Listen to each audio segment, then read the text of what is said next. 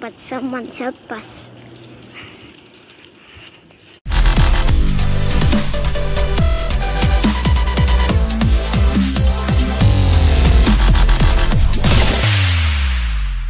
Sawadikap, sawadikap, sawadikap guys. Kirogster is back guys. Yan. Tutuloy natin ang pag-DIY natin sa ating Honda Sonic guys. Na 2003 model. Na hindi pa tapos guys. Okay, see you in this content. Guys, yan. Bumili ako ng carburetor na talaga. Wala. Hindi kaya ng powers. Yung kahit na nalinisan ko na yung carb ko wala pa rin hindi tumitino yung idol niya yan na bumili na ako guys original na carburetor niya yan Oof. Least meron. Yan ang importante itong ilalagay ko. Tapos i-adjust ko yung tope niya. Uh, baklasin ko na naman yan. Tapos tignan ko yung timing chain ng maluwang na or okay pa. Timing chain. So, sa mga rocker arm camshaft medyo may tumutunog.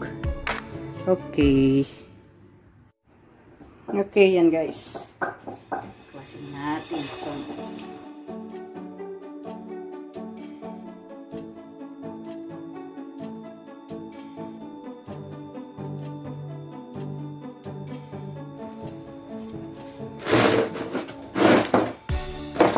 So guys,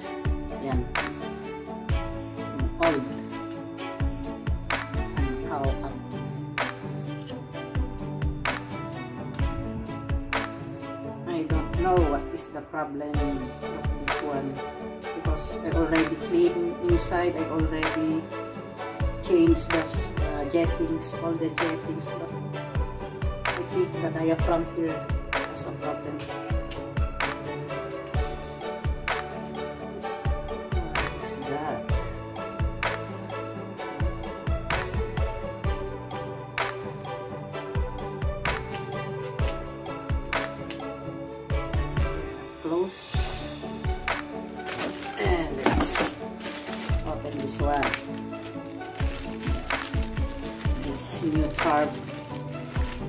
About 1,200 baht. This one.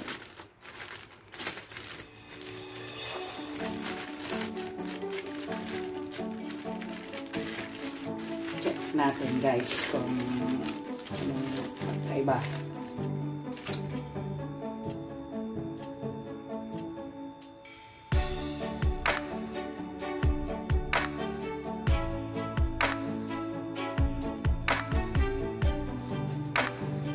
Lagyan natin pang bago guys.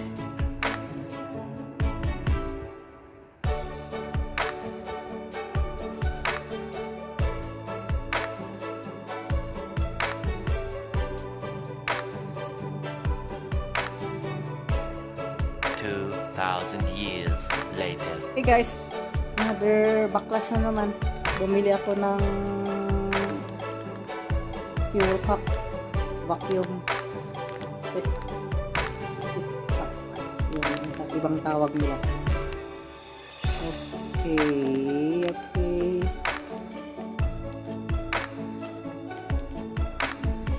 Guys, wala na, hindi ka na na-video. Kan? pinalitan ko lahat ng hose papunta doon sa yun yung sha, uh, yung fuel cap niya doon na vacuum tapos yun nilagay ko lahat mga sa, sa kwan yung nagpo-produce ng hangin.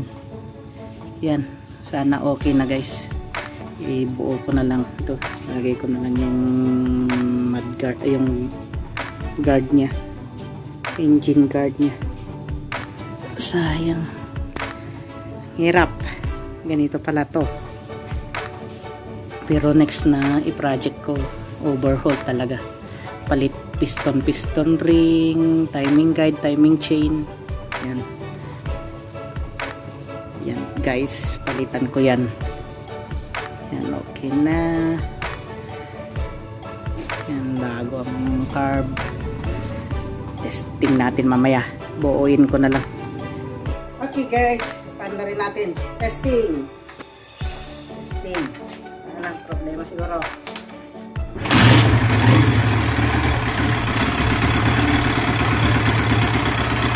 okay guys okay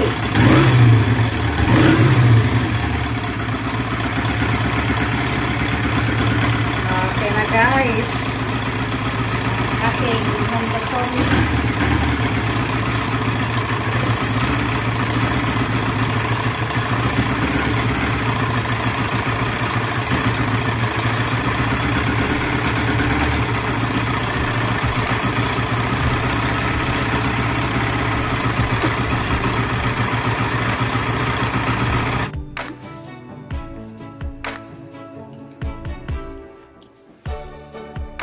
A few moments later. So, and test drive guys.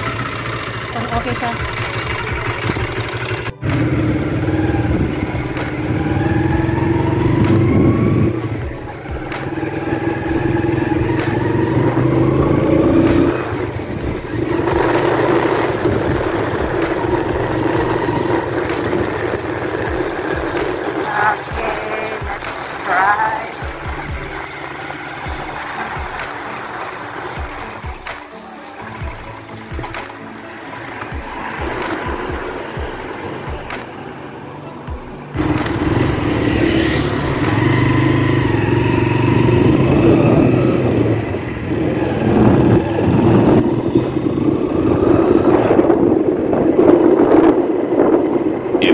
This moment that Sheaf knew.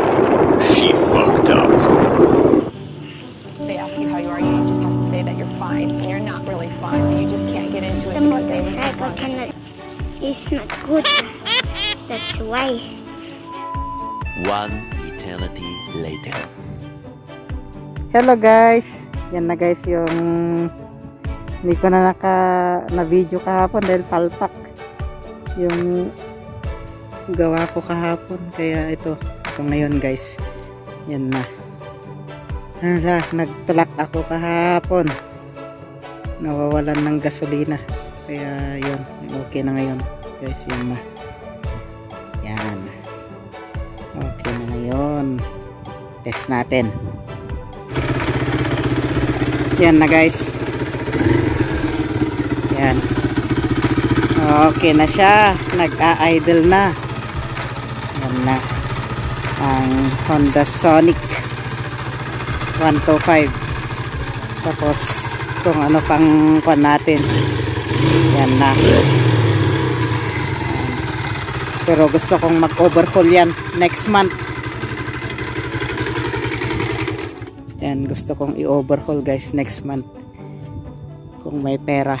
Yan. Bla, ah, piston piston ring, yung timing guide, timing chain, tapos yung ah, yung automatic tensioner niya, yung self adjusting tensioner niya guys. Yun, gusto kong palitan. Ano na. ah, Honda ko ngayon. Ganda na. Okay naman ang takbo. Tapos okay naman, hindi naman umuusok. Pero gusto kong magpalit. 2003 model siguro eh, hindi pa raw sila nagbubukas ng makina kaya yun bubuksan ko. Sigurado. Uh, osado na yung mga pan piston piston ring. Basta walang tama yung connecting rod. Okay lang. Yan. Tapos i-register ko yun long drive ko. Mag moto vlogging tayo guys. Yan. Okay thank you guys. Yan guys. Hindi ko alam kung ilang part tong ikat-cut ko yung mga video guys ng aking pag-rebuild ng aking Honda Sonic. Oh grabe. Ilang araw 4 days na puzzle ako guys sa pag-set up ng aking carburetor grabe ganun pala. May technique okay. Like and share and comment on the description below guys. Kung ano pang uh, ikakaganda ng ating channel. Tapos ano pang mga eco-content natin uh, ang aking Sonic Honda Sonic uh, Thai Thailand Honda Sonic guys. Tapos yung aking SS, SX8 uh, Honda City Type Z guys kung ano pang mga eco-content natin. Uh, mag-suggest lang kayo guys. Comment on the description guys. Okay subscribe subscribe. This is Kirogster God bless. Ride safe. And stay safe guys. Hindi pa tapos ang ating pandemic sa ating uh, sa buong mundo guys. Okay. Uh, this is Kirogster from Thailand. Peace out